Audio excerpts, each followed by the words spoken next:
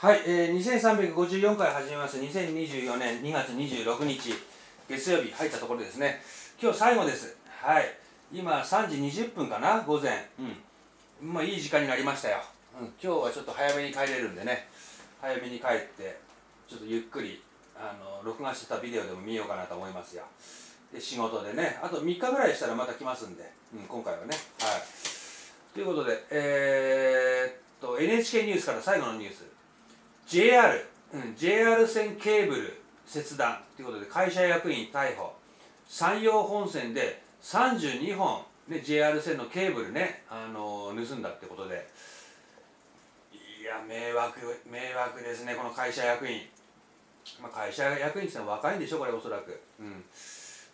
山口県内の JR の路線でレールのつぎ目つなぎ目に取り付けられている、えー、銅製ねあの鉄とか銅とかの銅銅製のケーブルが、えー、切断されて持ち去られているのが見つかった事件でこのうち山陽本線本線でケーブル32本盗んだとして宇部市山口県宇部市の会社役員が逮捕されました。警察は売りさばこうとしていたとみて共犯についても捜査していますと。逮捕されたのは宇部市若松町の会社役員川原大樹容疑者27歳ですと。ね27歳。まあ自営でなんかこういうななんていうかな。うん。あのー、まあまあまあまあ現場系の仕事やってた人なんでしょこれ。ね会社そういう会社なんでしょ。う警察によると先月25日から今月8日までの間に JR 山陽本線の、えー、読めない なんとか駅から東に1.3キロの場所でレールのつなぎ目に取り付けられているレールボンドと呼ばれる、えー、銅製のケーブル32本直にして33万 ,33 万6千円相当を盗んだ窃盗の疑いが持たれていると、うん、いやー JR 側からかしたら本当に迷惑極まりないね。これは、うん、ケーブル32本直にして33万6千円。1個あたり1万円ちょっとか、うん、JR 山陽本線のこれちょっと読めないけど厚東駅。あの薄い厚いの厚いに東って書いて厚東駅。これちょっと読み方違うと思うけど江東駅っていうのかな？東に1.3キロの場所で、うん、銅製のケーブル32 2本、うん、盗まれたと。この27歳の会社役員川原大樹、うん、被告容疑者、うん、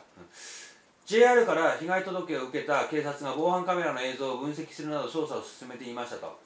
で売りさばこうとしていたと見て共犯について捜査していると。で警察は川原容疑者の認否について明らかにしていませんと、うん、山口県内の JR の2つの路線ではこのレールボンドが宇部線でおよそ170箇所山陽本線でおよそ50箇所切断され持ち去られ本数に換算すると被害は450本に及ぶと。警察が窃盗事件として引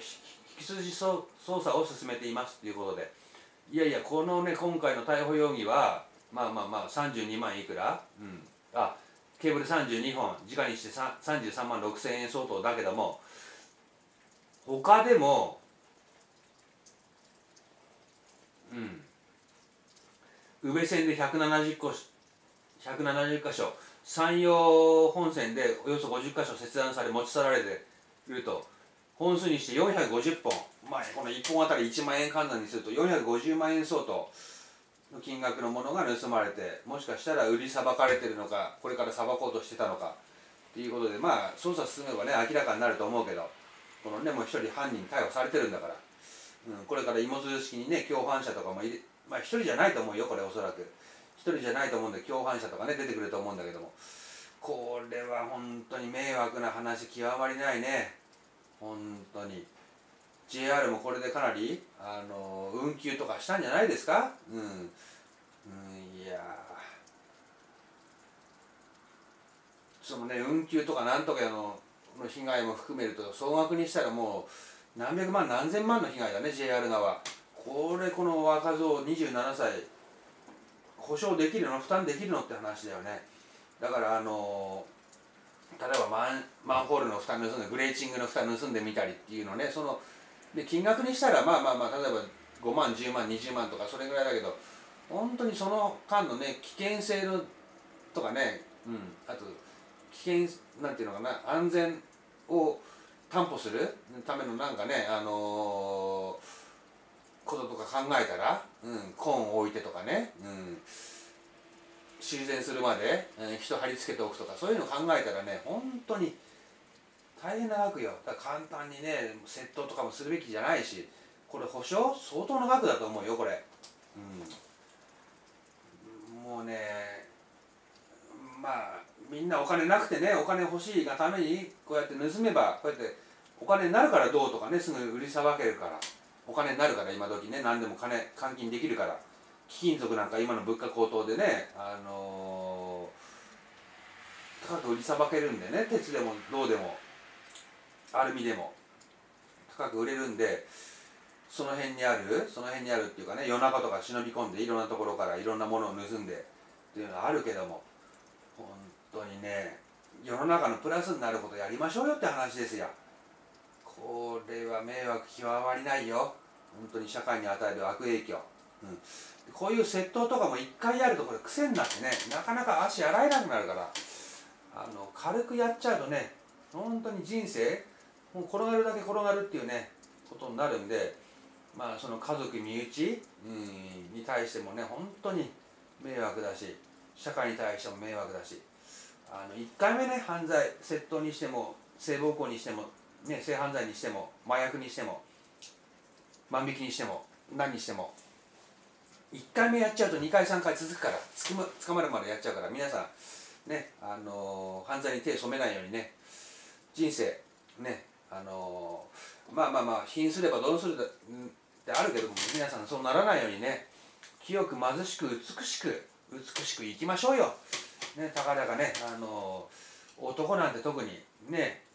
80年やそこらそこら生きたってねそれぐらいまあ我慢してあのやっちゃいけないってことは少ないんだから。ねやっていいことはたくさんあるんだから。ねやっちゃいけないことに手出す必要はないですよ、うん、思います。はい。2354回終わります。今日はこれで終わりです。またね3日後4日後ぐらいにお会いしましょう。皆さんあの体調崩さないようにね。はい。もうすぐ春ですから。はい。ご自愛くださいということで。終わります。チャンネル登録高評価再生リストの利用お願いします。失礼します。